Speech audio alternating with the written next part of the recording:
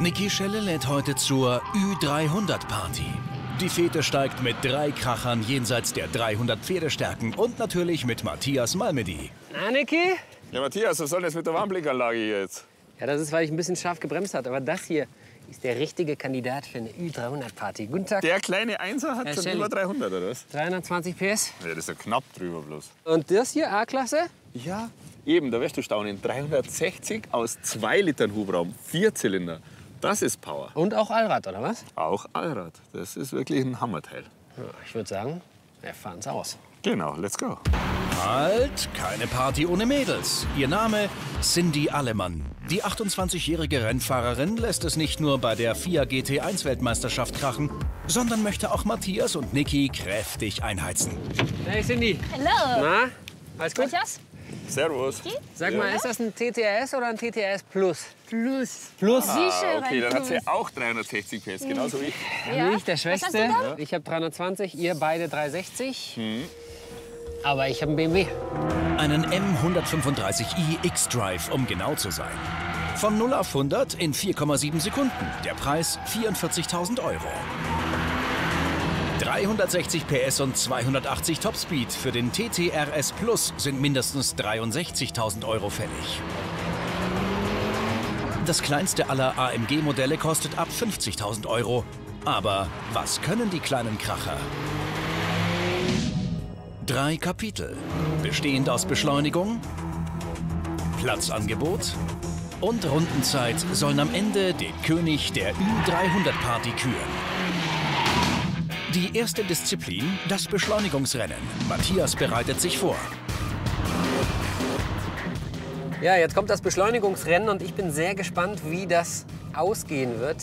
Denn beim AMG ist besonders interessant, er schafft es nur eine Zehntelsekunde schneller auf 100 als ich, obwohl er 40 PS mehr hat und auch noch einen Tacken leichter ist. Da zeigt sich mal wieder, die Leute von BMW wissen einfach, wie man gute Autos baut. Doch das wissen auch die Jungs von AMG. Und deshalb bleibt Niki erst einmal ganz entspannt. Doch Cindy macht sich so ihre Gedanken. Der Matthias, man muss schon aufpassen. Er ist so nett. Aber er probiert immer ein bisschen zu beschissen, ne?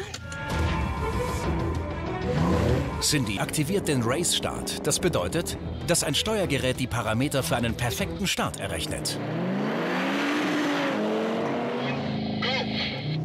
Oh, ich bin schon vorne. Boah, mein Auto war super. Boah, unglaublich. Uah. Alter Schwede. Eieieiei. Okay, TTRS Plus, keine Chance. A45 AMG hat keine Chance gegen den BMW. Oh, der BMW zieht ganz leicht. Aber jetzt, jetzt kommt meine Chance. Meine Chance kommt. Auf geht's! Und während Niki um jeden Meter kämpft, beobachtet Cindy alles ganz entspannt im Rückspiegel. Zieh an! Nee, jetzt kommt der. Jetzt kommt der, oder was? Nee. Auf geht's, ich komme! Ich komme! Nee, nee, nee, nee, Niki. Das, nee. Die beiden bleiben stehen hinten und ich bin schon 50 Meter mehr nach vorne. Das ist unglaublich. Geht sich's aus bis zum Ziel? Geht sich's aus? Nein, nein,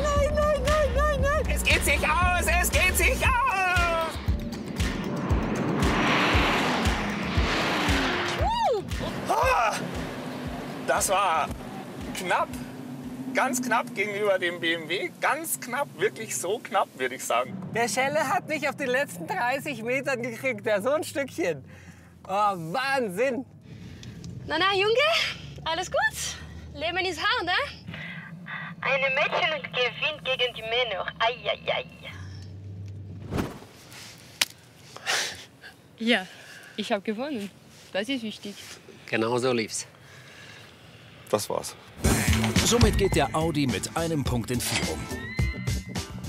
Der RS Plus markiert die Alpha-Stellung der TT-Modelle. Riesenspoiler, dicke Endrohre und vorne die 360 PS-Macht der 5-Turbozylinder. Und trotzdem bleibt ein Fragezeichen. Warum kostet der Plus fast 4000 Euro mehr als der normale RS? Ein stolzer Aufpreis für gerade mal 20 PS mehr. Dafür ist der Innenraum perfekt verarbeitet und die Sportsitze sind allererste Sahne. Nächster Test, das Ladevolumen. In diesem Kapitel geht es um das Schluckvermögen unserer drei Partygänger. Verschiedene Gerätschaften sollen verstaut werden. Ob alles reinpasst? Die Herren lassen Cindy den Vortritt. Das ist einfach. Das kommt, das kommt auf meinen Kopf. Okay. Und der Rest in den TT. Laut Werksangabe passen bis zu 700 Liter rein. Okay, sag mal, und auf dem Beifahrersitz soll keiner sitzen, oder was? Nein, ich nehme niemanden im Urlaub. Ich gehe alleine. Deshalb kommt der Gymnastikball auf den Beifahrersitz. In den Kofferraum soll ja schließlich noch das Fahrrad. Können wir den Rad wegmachen? Na klar. Doch das Ding wiegt Cindy immer noch zu viel. Kommt, Jungs, seid mal Gentlemen. Super schwer, dann danach einfach. äh, Es ist nicht mein Fahrrad. Ja, also, nein, nein, wir probieren.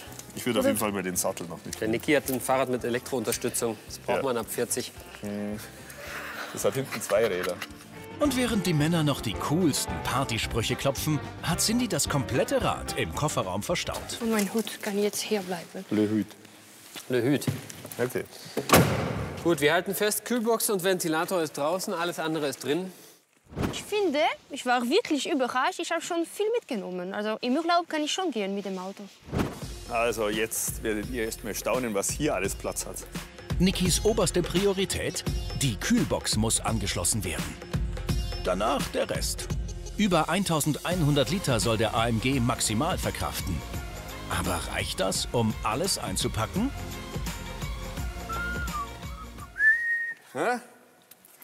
Zu, Voilà. voll Hä? drin. Ja, Hä? Ist hier noch irgendwas? Ist hier noch irgendwas? Kannst du was sehen? sauber. Alles richtig gemacht. Ja. Niki hat vorgelegt und alles in die A-Klasse bekommen. Kann Matthias mit dem Einser mithalten? Schicht für Schicht füllt sich der Frachtraum. Der Münchner hat rund 40 Liter mehr zu bieten als der Benz. Eine leichte Aufgabe für Matthias. Naja, So, wer hat jetzt gewonnen? Du hast nicht alles reingekriegt, aber wir schon. genau. Wer hat gewonnen? Ja, wir beide. Richtig. Deshalb gibt's jeweils einen Punkt. Den M135i kennen die meisten mit Heckantrieb. Für 2000 Euro kann man sich aber deutlich mehr Traktion erkaufen. X-Drive heißt das Zauberwort. Der 3 Liter rein 6 Zylinder samt Turboaufladung ist das Sahnestück. Samtig weich und enorm kräftig. Im Innenraum gibt es keine Überraschungen. Mit dem A45 AMG möchten die Affalterbacher den Spagat zwischen viel Leistung und Wirtschaftlichkeit auf einen kompromisslosen Nenner bringen. Das Ergebnis beeindruckt. 2 Liter Hubraum, Turboaufladung, Allradantrieb und ein knüppelhartes Fahrwerk. Wie wir finden, deutlich zu hart. Aber wer fährt die schnellste Runde? Jo, Matthias, wie schaut's aus? Alles klar. Wenn immer du willst, sobald sich das Auto bewegt, drücke ich drauf und wenn du durch bist, auch.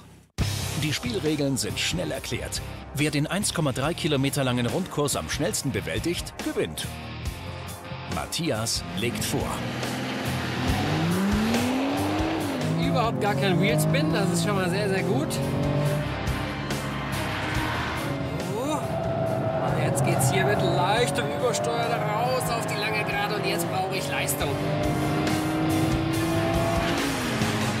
Bremspunkt nicht verpassen, Matze. Hier machen wir das mal, ne? Ja. Oh, ja, ja, das war zu weit. Shit, shit, shit, shit, shit, shit, shit, shit, shit. Das hat eine Sekunde gekostet.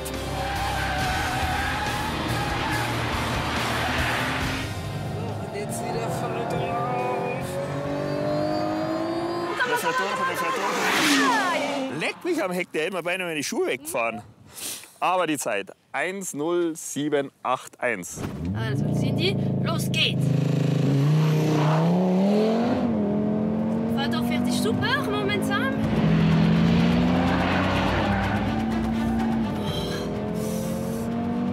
Ein bisschen zu viel unterstützen das Auto. Also ich probiere, ich kann gar nicht das Auto übersteuern.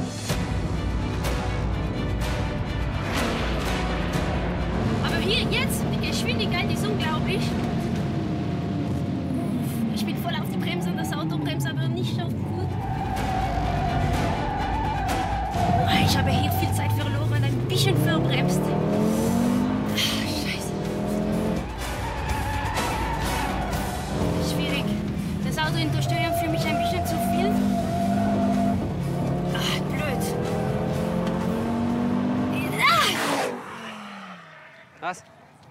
Was?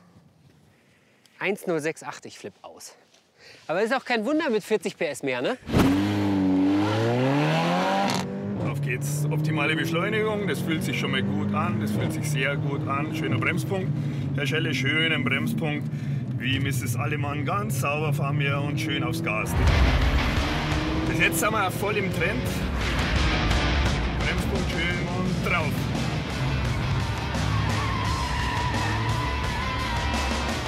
Ja, würde ich sagen, war optimal. Ah, es fühlt sich gut an. Und voll aufs Gas, voll aufs Gas, voll aufs Gas, voll aufs Gas. Ja, das ist die Bestzeit! Das wird schnell. Das wird schnell. Oh nein! 1,0627. Ich bin sauber gefahren. Ich bin sauber gefahren. Ja, du ich bin bist- jetzt wirklich sauber gefahren. bist nicht wie ein Rallye-Fahrer. Nach Punkten gewinnt somit der A45. Ich drehe mal noch eine Runde. Alarm! Yeah! Fazit, der BMW ist der beste Allrounder und bietet für uns die beste Mischung. Dennoch, gegen den kompromisslos auf Sport getrimmten A45 hatte er bei der schnellen Runde das Nachsehen. Der TT RS Plus, brutaler Motor, perfekte Traktion und viel Sportsgeist. Leider aber auch ziemlich teuer. Laut und hart, der A45 AMG zieht die Daumenschrauben gnadenlos an und lässt in fast keinem Kapitel etwas anbrennen. Nach Punkten unser Ü300 Partykönig.